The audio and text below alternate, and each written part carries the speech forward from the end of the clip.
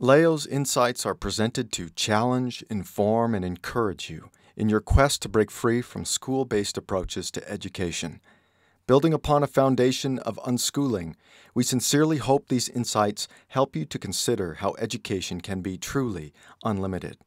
The COVID 19 pandemic caused all of us to reassess priorities in politics this past spring. One of the obvious areas where this has had to take place was within the education system where schools were closed indefinitely.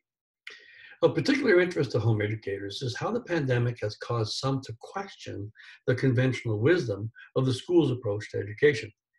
From questioning socialization to differentiating between homeschooling and home education, the school's closure forced us to all rethink what is normally considered as status quo.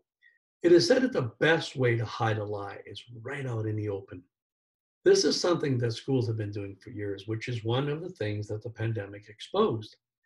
The sending of all students home has turned the most common assumptions regarding education on its head, which in turn has led to much frustration. The frustration has been demonstrated in three ways, all of which point to one glaring misconception regarding public education. The first discovery was that even though the schools may have provided students with lessons and expectations outside the cloistered authoritarian environment of a classroom, students tended to do what they wanted as the ability to enforce these directives was gone.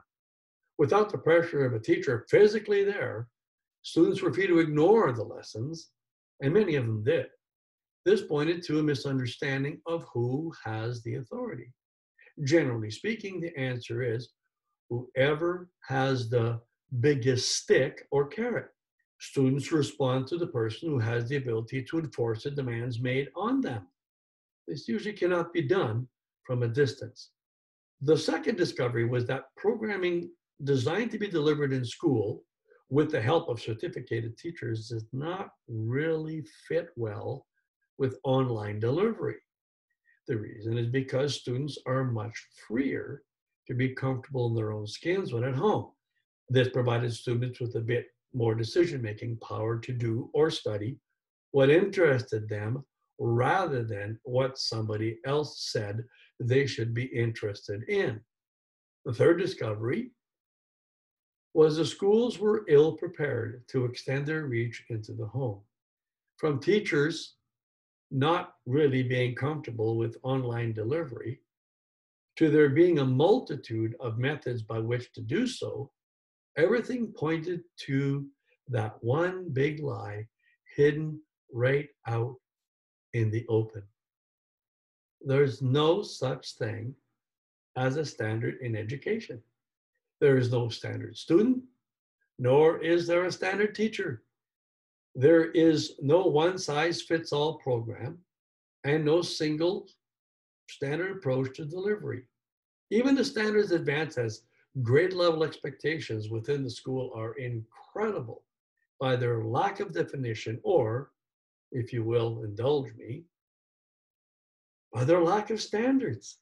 All this pointed to one truth respecting the lie of educational standards, and that is that most people simply trust government as best able and having the ultimate know how and authority to teach children.